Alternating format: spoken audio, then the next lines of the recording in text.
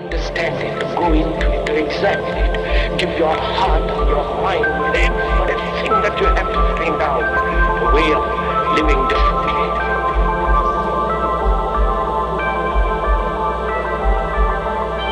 But that depends on you and not somebody else. Because in this there is no teacher, no pupil, there is no leader, there is no guru, there is no master, no savior. You yourself are the teacher and the pupil, you are the master, you are the guru, you are the leader. You are everything. And to understand is to transform what is.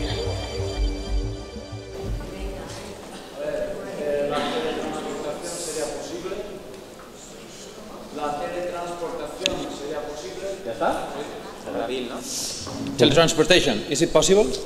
Yes. oh Lord, yes.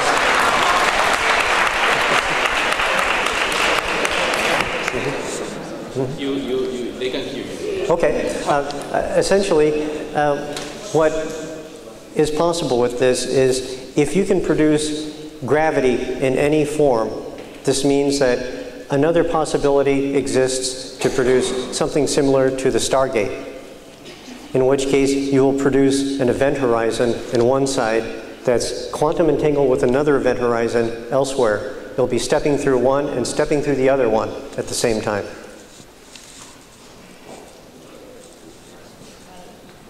Excuse me. Reversal engineering, is that real? Reverse engineering. Re- reverse engineering? Is that real or is a fiction uh, in YouTube? You mean, You mean reverse engineering of, say, extraterrestrial technology? Yes. Well, clearly there are examples from Roswell and elsewhere. yes. Sure. Oh, yes. Yeah. Um, getting back to the teletransport, visualize what happens at a Stargate as a form of implosion, that all of the matter is compressed and accelerated in the wormhole, and when the acceleration becomes faster than light, it can be transferred to a place where the resonance matches. Mm-hmm. And that's, right. that's that quantum entanglement. Right, right. So it's, it's sort of the Philadelphia experiment was a kind of caduceus. Mm-hmm. You need a little background in electromagnetics, but it's very real. More questions, right? That's the spooky action at, at a distance, right? Yes, it's called spooky action at a distance. And in fact, longitudinal wave inter- interferometry, which is a flame in the mind, is a form of action at a distance. hmm Yes.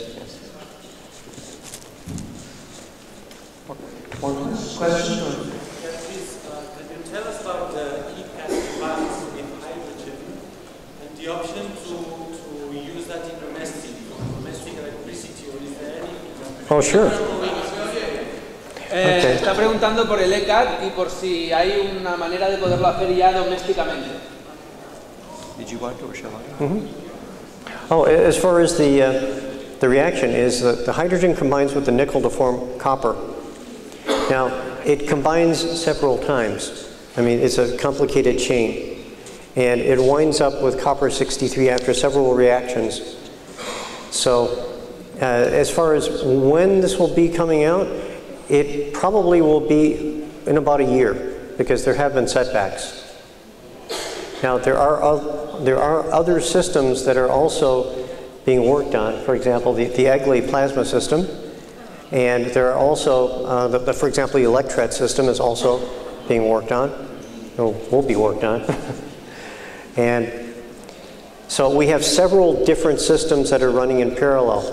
It's a matter of which one will be done first.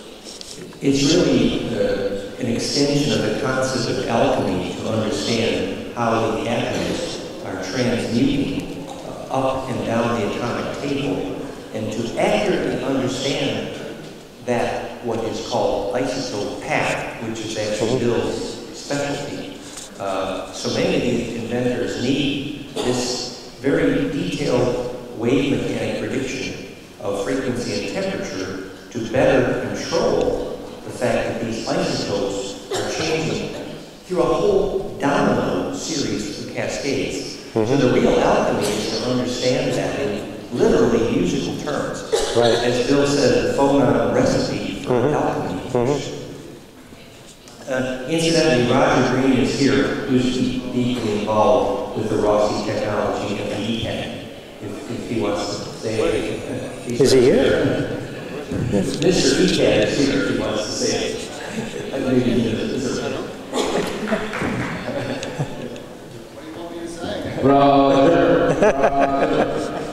Roger's happy, if you, have anything to say, feel free. More questions are fine, I guess you.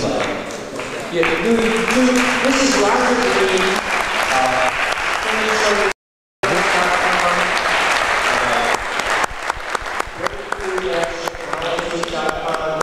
uh, littledesert.com, and uh, Roger's been supporting this work for many years, and uh, ecoglobalfuels.com. These are my buddies. And, and uh, Roger's now deeply involved with uh, Rossi and others of fusion technologies as well. So, Thank you, Roger. Does anybody have uh, any questions about the Rossi ECAT technology? I'm happy to. ¿Tenéis alguna pregunta sobre eh, eh, el es este sobre. They just wanted to get away from the edge. Nucleares de baja frecuencia de baja energía.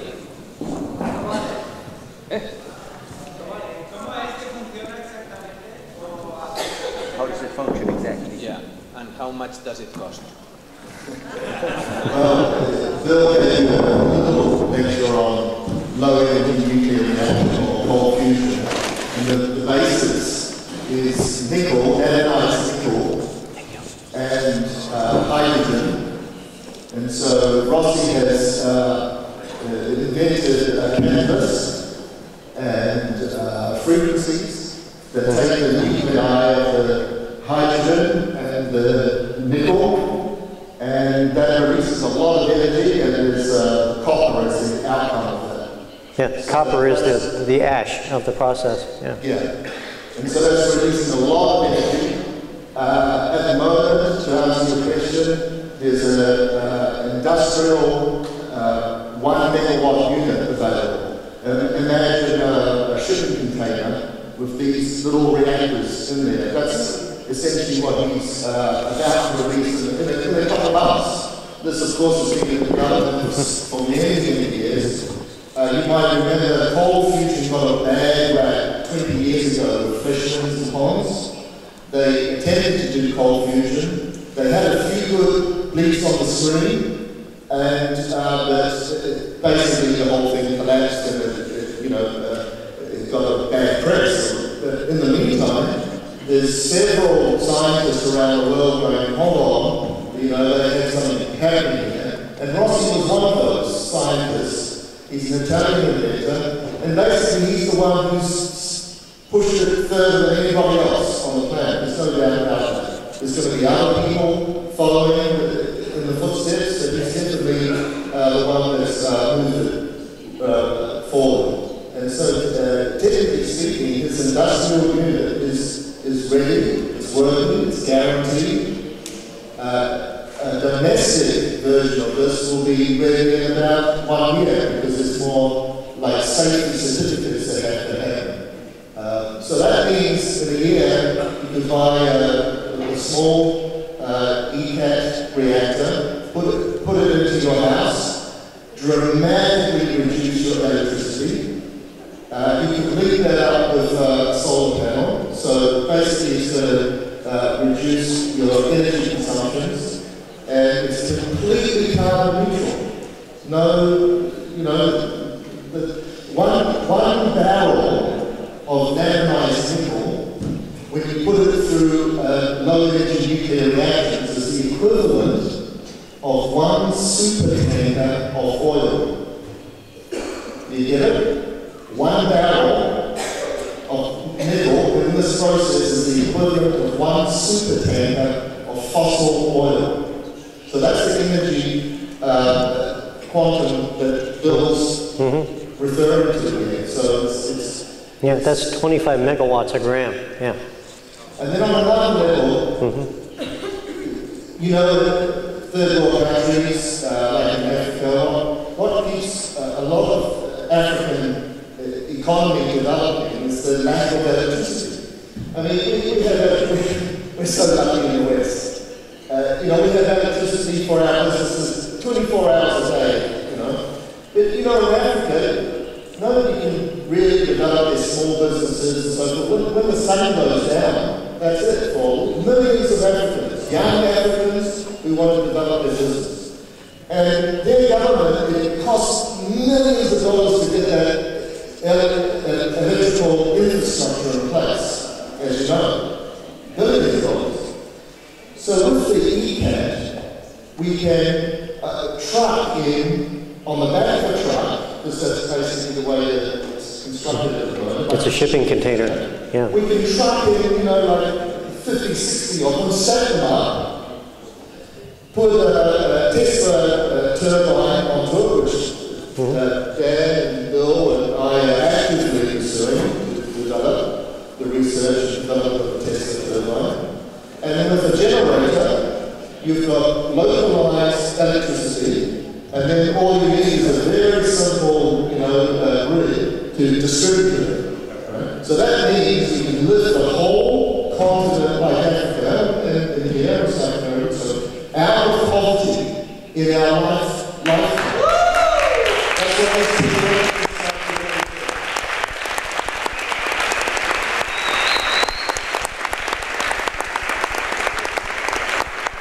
Ese contacto con, con Pepe Grillo en, en Italia habéis intentado contactar con el líder del movimiento 5 estrellas.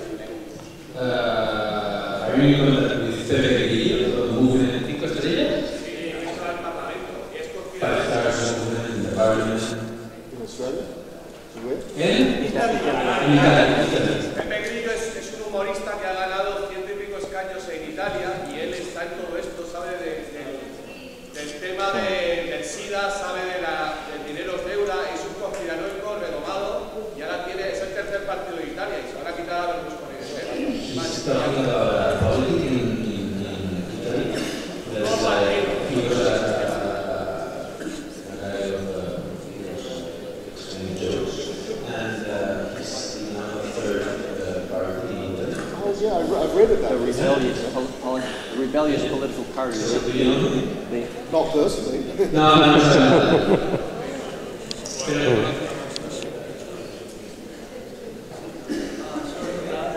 There is a stupid question, but uh, there is, uh, well, let's see, hi ha, hi ha un medi de, de transportar tot aquest munt d'energia que, es, que es produeix sense torres d'electricitat, sense tot... Is there some way to move all this energy without uh, a normal infrastructure for uh, transporting electricity, like in the posts and everything? Well, you know, transporting electricity without wires was Tesla's dream, among other, and maybe Bill wants to speak. Yeah. But, and it is true that where the Earth symmetry to be conductive, naturally the energy is conducted like through a resonance crystal without wires. Uh, some people believe that uh, if you don't understand gravity very well, you, you can cause earthquakes by sending electricity through the grid massively.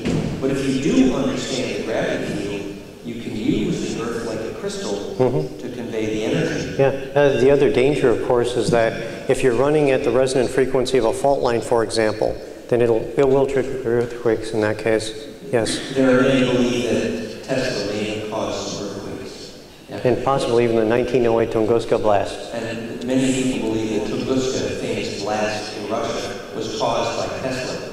The point is that it is not safe to begin using zero-point energy until you have deeper understanding of gravity.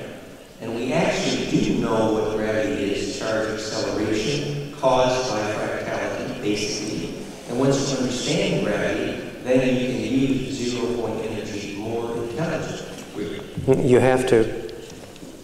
The HAARP is real.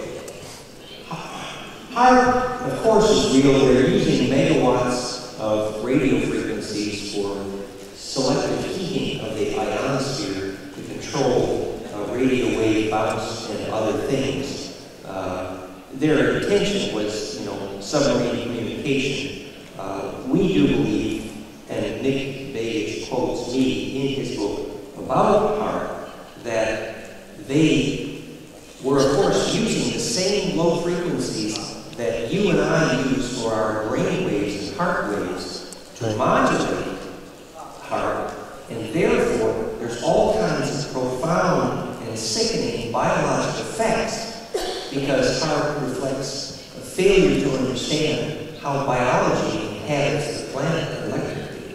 So HAARP is actually a sad example of humans profoundly misunderstanding what makes the planet alive. Very similar example would be whales and dolphins beaching themselves, committing suicide because the Navy is using low frequencies to communicate underwater. So powerful that it even hurt a human's ear. Imagine what it's doing to dolphin ears. And yet the Navy is doing this globally. And they're wondering why these whales and dolphins are getting so upset. 200 decibels. 200 decibels.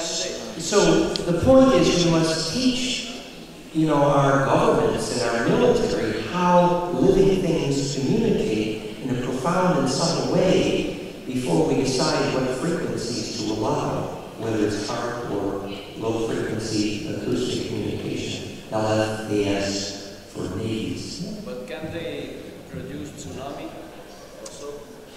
Um, there are many who believe that the Japanese tsunami was caused by HAARP. I, I do think that may be a bit heavy on the conspiracy theory. It is true that low frequency phonon, longitudinal, uh, uh, can cause atmospheric compression, uh, what Tom Bearden called the scalar woodpecker of the, of the Russians.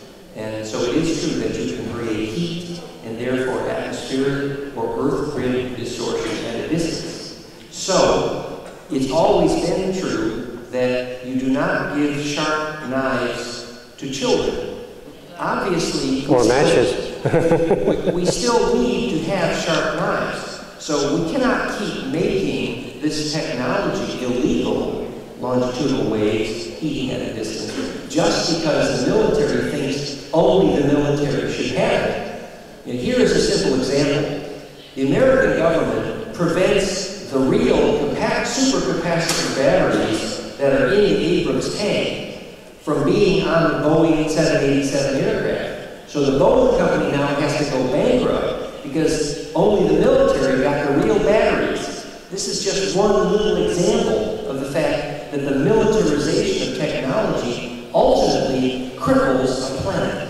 And that this is, we acknowledge Bill. Right. Oh, absolutely. This information is Right.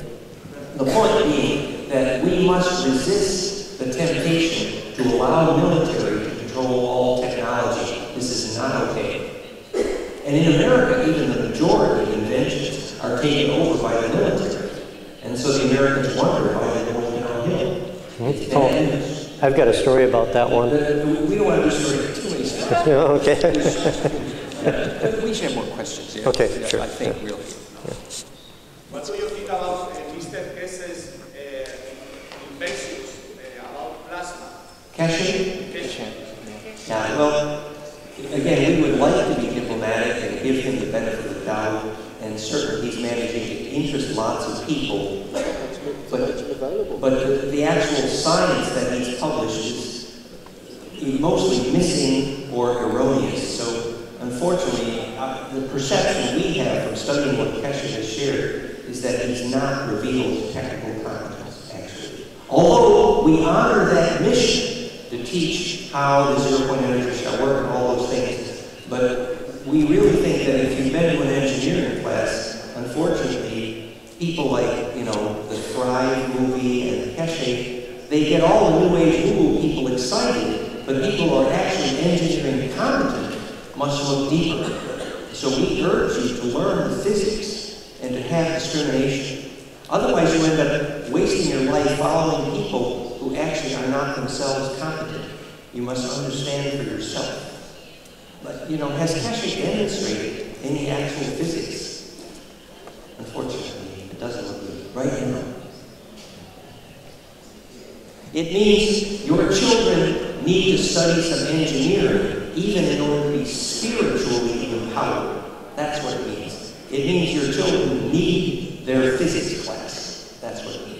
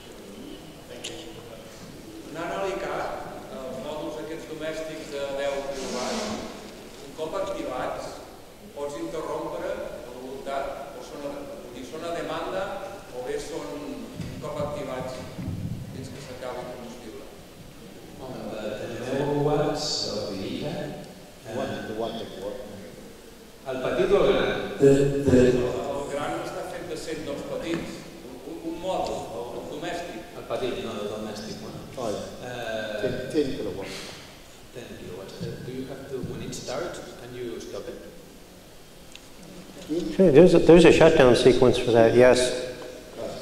Yeah, uh, so the question is um, on the domestic, it's a 10, it's got 10 kilowatts, which is more than enough for the average house.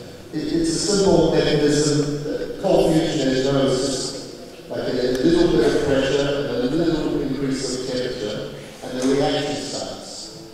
So you need some energy from an outside source to start the reaction, so you need some electricity. But remember that to be from a solar panel. So, and then when the reaction starts, but then you kind of have to pull it back hmm because it wants to fly into, the- into the infinite. Oh, yes. So that's why we say it's got a COP, coefficient of performance, of six to one. One, one unit of energy, electrical energy in, six thermal energy uh, out. So that's amazing, that ratio. Yeah, And, um, so basically, it, it has to keep drawing on a little bit of energy for controlling this. Uh, so, but, you know, if, anything goes wrong, it, it just stops. So it's very safe. And like any domestic, like your pop-up toaster, will have an on and off switch. And the thermal overload. Yeah, and the idea of the design is that we have to make it very user friendly. Uh, it's, uh, I've said to Rossi, uh, it has to be uh, as, sex, as se- as sexy as a, a Mac computer to, to visually look at. And he's Italian, so he understands the design. So, um, and uh, yeah, the thing is, it would just retrofit into your existing system.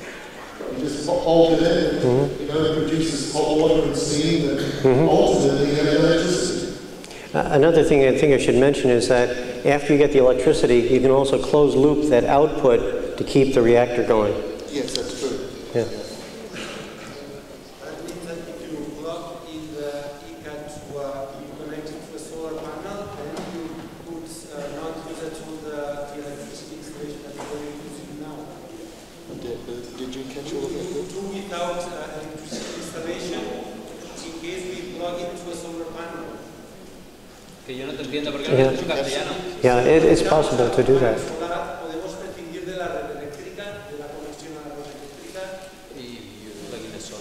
ECAT and you not use electricity.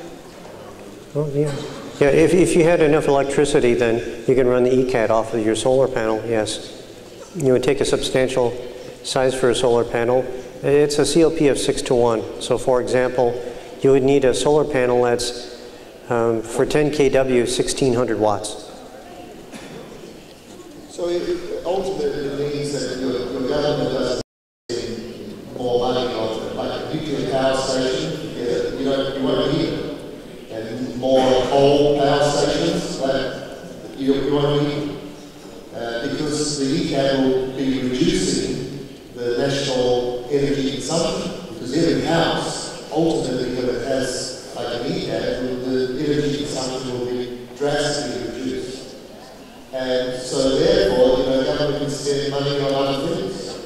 And don't forget, it will, it will still bring other renewables behind it. Solar, there's still a place for solar, there's still a place for, uh, you know, we've always said about renewable energy, it's, it's, it's going to be diverse like nature itself.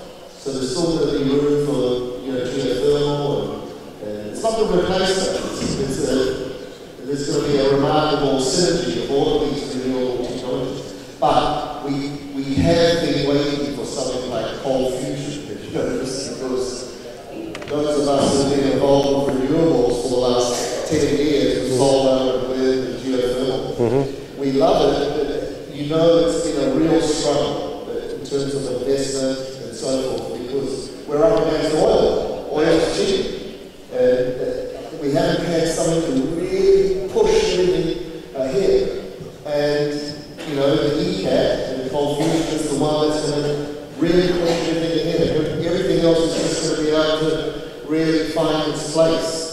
Uh, You know, so the potential is amazing, you know, for the future for this.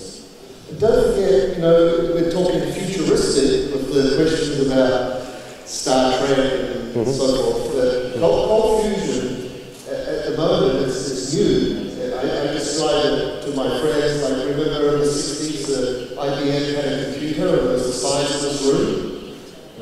And now a computer is the size of your wristwatch. watch. So in, in five years' time, we, you, you're going to be buying a car with a cold fusion reactor. Sure. You know, soon we, we can have it in ships and, and trains. And ultimately, of course, it's something that you need to be able to get to Jupiter and back, you know, for the weekend holiday.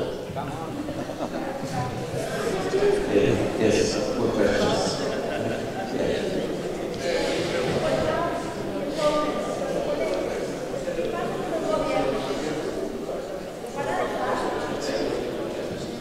I personally don't find any problem with government whatsoever, like zero. Uh, as Bill has, we all stated that we can't a good idea. In the, in the groundswell of everybody now, we want renewable energies. The Australian government, where I'm from, and New Zealand, I spend a lot of my time in Zealand- in Australia, they're, desperate. The population is desperate. Even the government is desperate. Uh, we have a carbon tax now as well. So the industry is now desperate for a safety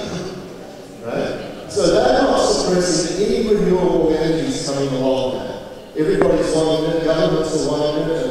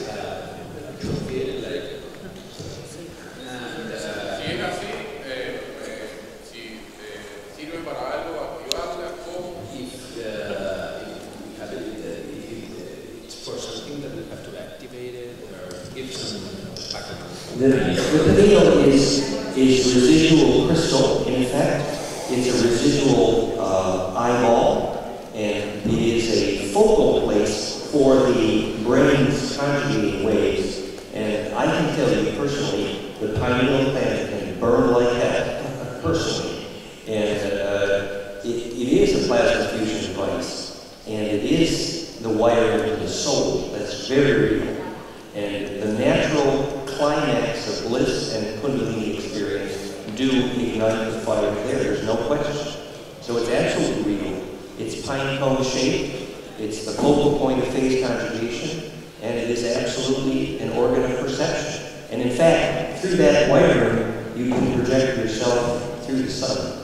Very advanced spiritual subject. Powerful. ¿Cómo es la pregunta? ¿Cómo él cree que se puede llegar a eso? ¿Cómo se puede activar eso? How do you activate it? Well, ultimately, all of this process is very simple. It means your life is about attracting charge. Everything you do, is, you know, chi, orgone, baraka, shakti, pat, grace, whatever you call this process of gathering charge, as you do so gradually, there's a climax between the glands as the flame in the mind reaches uh, an implosion point. And so spiritual initiation is a very real electrical phenomenon. It starts with coherence in your aura, and your aura grows measurably. And measuring your aura size is a real electrical indication of spiritual growth. And as you become centripetal and implode, your aura gets bigger. In practical terms, that means you're seeking high quality bliss experience and you need yoga and live food diet and a you know a charged rich environment to do it, which mostly means nature, fresh air, high quality water, yoga, live food, sacred gymnastics, and perhaps most of all, to have the skill to think a shareable thought. You become part of a wave that implodes every time you consider a pure principle. Because that is a wave electrically which DNA for a million years has been in the business of gathering a shareable wave, pure intention, that serves collective survival. So when you think a thought that results in a eureka moment and your hair stands up, you have just learned to attract charge.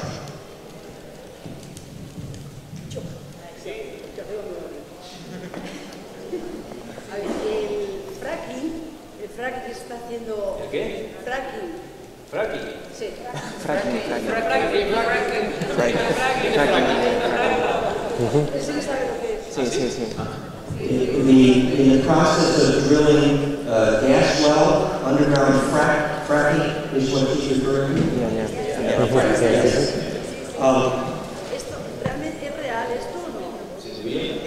Yes. They, what, what, they, they use extremely high pressure, uh, almost explosive underground pressure, to send fissures of huge fractures underground to gather the underground natural gas. And that is resulting in a revolution in natural gas availability. And it can be very dangerous to the grid structure.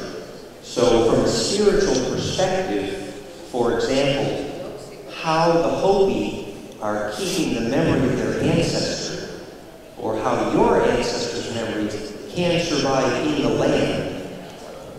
In that context, fracking is probably very bad news. And certainly, But also, it's the water supply and all sorts of things. Yeah, it does, yeah, yeah. Ponen Fun- fundamentally, it's bad news. dentro de la tierra, eso es, los químicos dentro del agua, eso es lo que perfora la tierra, eso es tóxico. yes, it pollutes the water. Yes, it's true that people,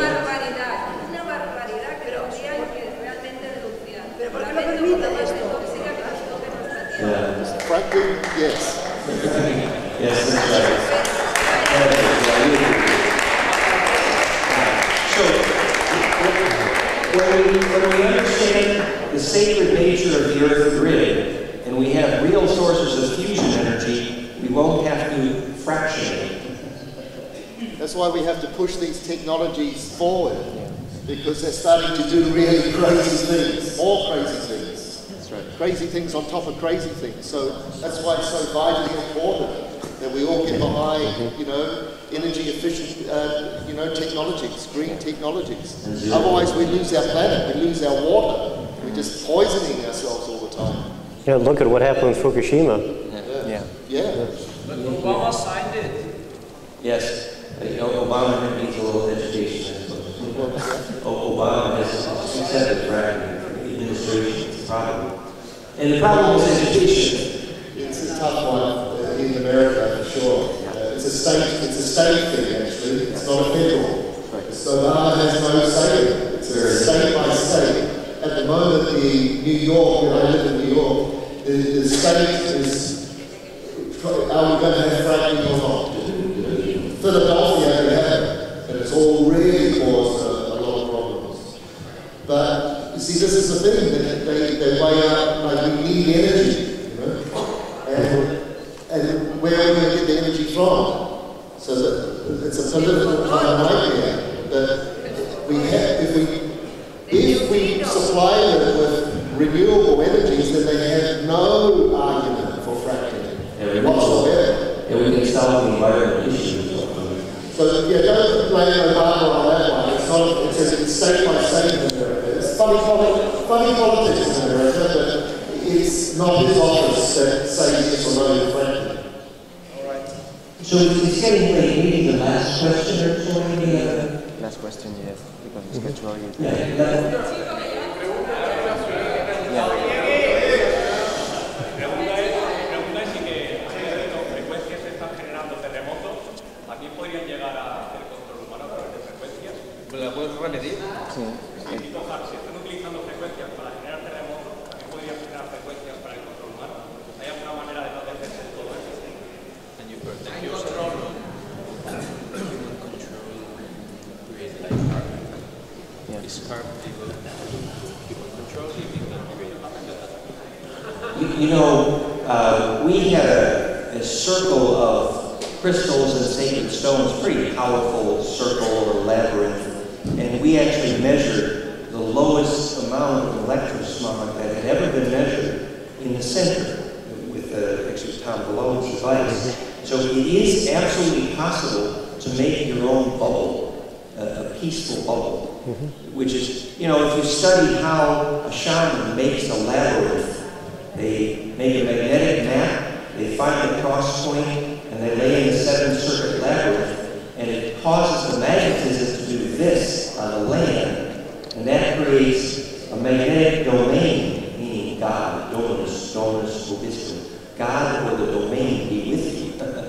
and that magnetic field is, is a bubble that has a bit of a membrane that does, uh, uh, you know, isolate you from pollution. It can. So those are some things you can do. But ultimately,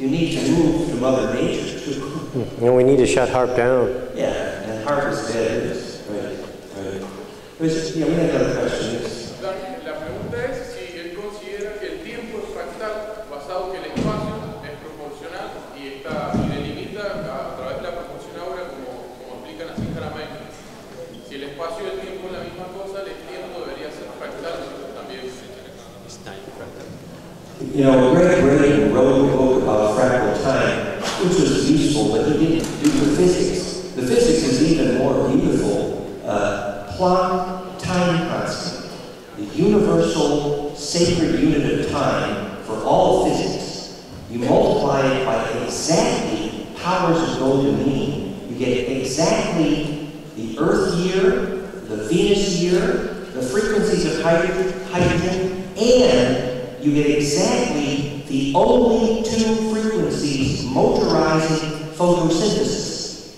In other words, time is fractal because it is the only way you can embed in charge rotation, which defines the sacred heaven. So time is absolutely fractal, and knowing how to fit yourself, embed yourself in those rotations. The Earth here did it, the Venus here did it, hydrogen did it, and photosynthesis, the only frequencies that make it go are precisely phase constant fractal.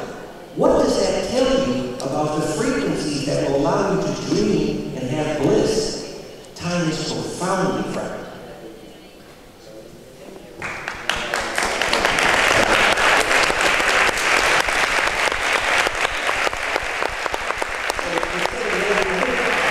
I think we want to thank Marco for all of the work he did. Marco and friends really drew, deserve a huge.